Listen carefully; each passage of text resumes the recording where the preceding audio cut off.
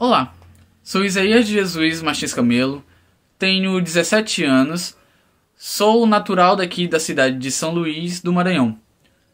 Bom, sou integrante do coral Altos Louvores há 5 anos. É... Inicialmente comecei no naipe do baixo, porém tenho extensão vocal para o tenor. Fui solista em três cantatas que ocorreram por aqui e também fui monitor do grande coral do Centenário, que foi uma festa idealizada pela Assembleia de Deus aqui em São Luís. Bom, vou fazer uma breve apresentação de um trecho de uma música que é do hino da harpa Fonte Transbordante.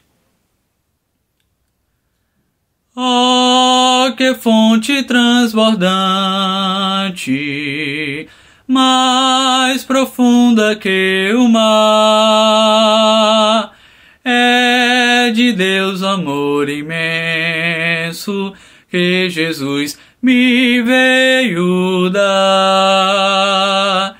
Ele me abriu a porta e me reconciliou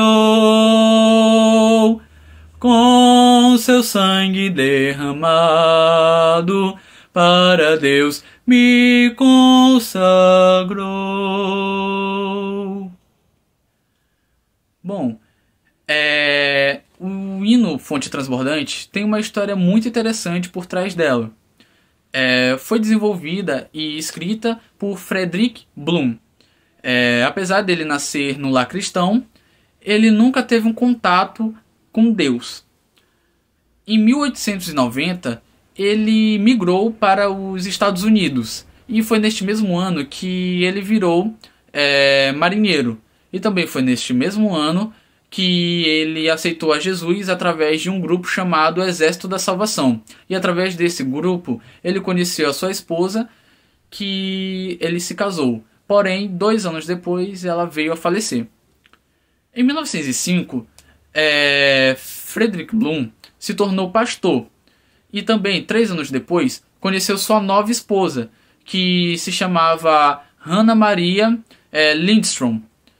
E apesar de tudo parecer bem, é, sua fé estava esfriando. Ele estava se afastando dos caminhos de Deus e se afastando do seu cargo na igreja, por conta de amigos que levavam ele para o mau caminho e por conta que ele se envolvia com pessoas do exército que faziam parte do Partido Comunista.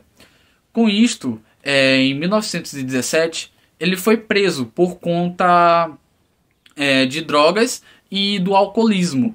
E foi lá que ele teve sua reconciliação e o seu encontro com Deus. E foi neste mesmo ano que ele desenvolveu a música Fonte Transbordante.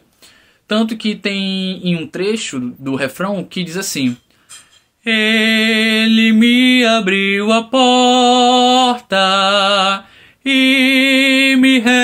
reconciliou. Por conta que ele teve essa reaproximação com Deus e ele teve de novo é, com aceitar a Cristo, mesmo na prisão.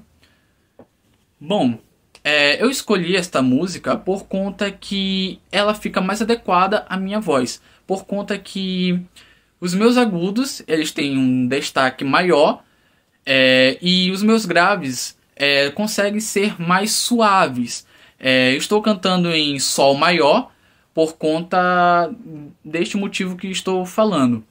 Então eu espero que vocês gostem da apresentação e também conheçam um pouco mais da história. É, bom dia, boa tarde, boa noite e obrigado.